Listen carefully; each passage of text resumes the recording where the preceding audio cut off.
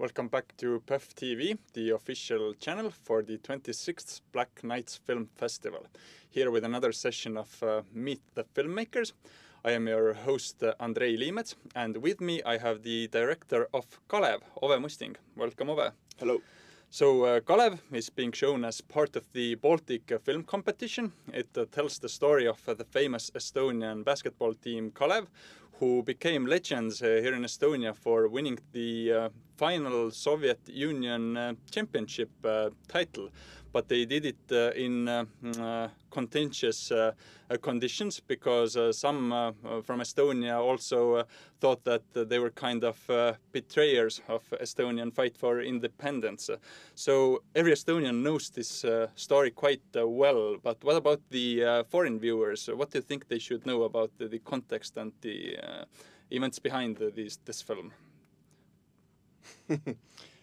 I haven't thought about it because uh, first, uh, when we decided to do this uh, film, we we knew that this this never be uh, global because this is for uh, only we understand here the the story, the background, and uh, only we who lives uh, and with our Baltic neighbors who live next to Russia, we we know exactly what was the stake and all the conditions.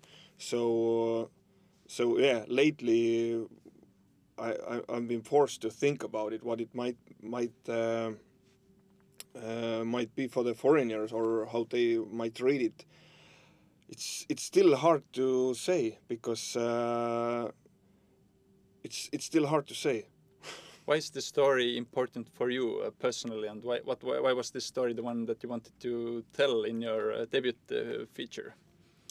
Uh, first of all, uh, when uh, producers told me about the idea to make a story about this event, I was stunned immediately. I didn't understand why no one uh, didn't pick up it uh, earlier because it's uh, it's a so great story and everybody knows that. And I immediately said yes, sure.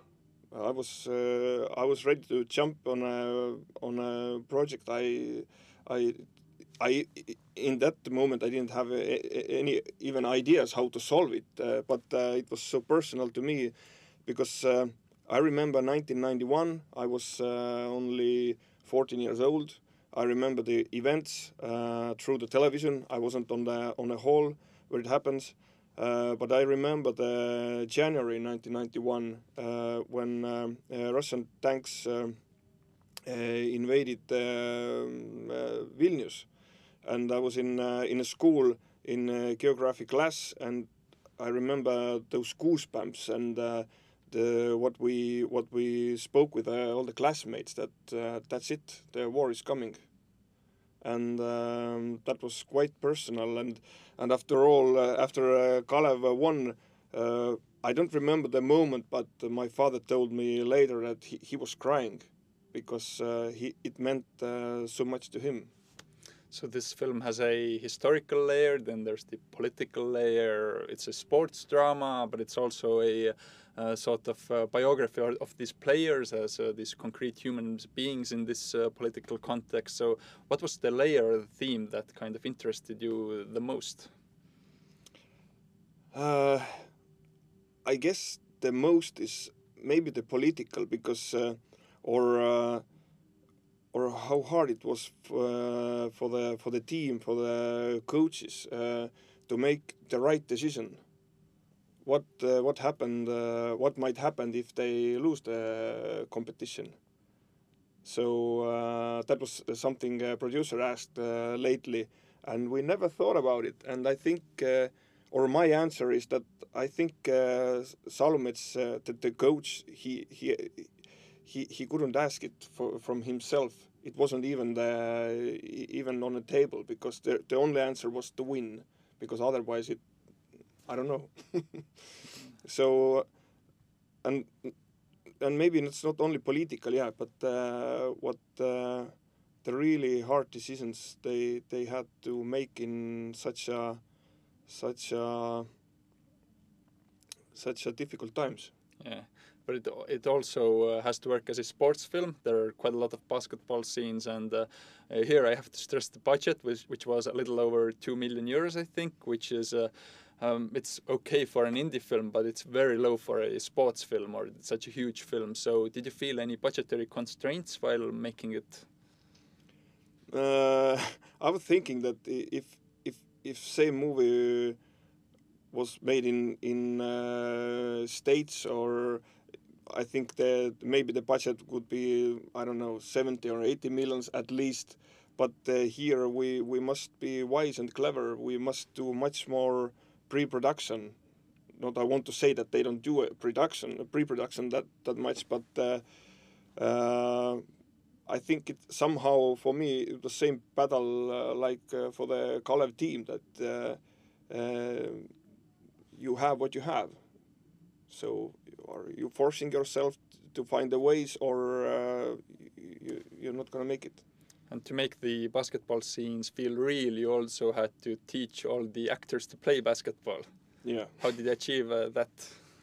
Yeah, it was it was quite uh, uh, difficult, but we already we made casting, and there we asked from everyone uh, what is the background, are they uh, willing to to to to study, and that was the, the really first really strong question, and uh, and and uh, for me it was difficult choice, but I, I felt that it's uh, better to pick the actors and uh, taught them uh, to play than than the, to take the professional basketball players. Because of course they they will be they, they are 100% better on, on a court or playing the ball. But uh, I think that actor is more difficult instrument. They they they were taught in school adapting and that's what they do all the time. And I I hoped that if they train hard they they can fool even the sport sportsmen in Kalev you balance uh, sports and politics. During this festival, we have the Football World Cup starting, uh, which has been very, very contentious and divisive due to the human rights issues in uh, Qatar and so on. Do you think sports and politics can be uh, separated? To be honest, I don't know. I really don't know. Uh, but politicians, they, they, they, they trying to tell it's it's a separate things, but uh, we see all the time how they are so tied up, and uh, it's uh, it's I think it's never gonna be. That's true. So um, the Kalev has also been uh, put up as the Estonian uh, nominee for the um, uh, Oscar this mm. year for the best international film. So what do you think of its chances there? I've seen so many competitions in my life, so everything is possible and anything can happen, but uh, you never know. I, I'm, I'm sure that, uh, of course, as a filmmaker, I believe my my, my movie, and I think it's. Uh, I'm I'm really happy with that, and uh, I think there's nothing to shame. But of course, we have uh, really, really, really big names uh, there competing, and and it's really hard to tell. I, I think it's a lottery. I think for a debut feature, it's already done very well. The Oscar nomination, uh, it's become one of the most seen films in Estonian box office for Estonian films. Uh, so, what's next for you, Ove? Uh, there are there are many many things or ongoing projects. Uh, I'm working on uh, a great series and uh, now developing my new feature film, which is uh, which called uh, we don't even have in in English the, the name, but it might call like Peaks Slaughter. So it's about uh, it's a Christmas movie. It's a very very dark comedy about uh, about uh, how to tell about the events happening in near uh, past, maybe in 2015 or something. Um, one country, small village uh, during the Christmas, they they they have news that uh, big disease. Yeah, I don't know even it's, what is it in English. Uh, the di- di- disease is attacked their uh, village, and Yeah. and all the animals must be must be killed. So it's very different from Kalev. Uh, yes. But thank you very much, uh, Ove, and thank you for the film. And as said before, Kalev is being screened here at the Black Nights Festival as part of the Baltic uh, Film Competition.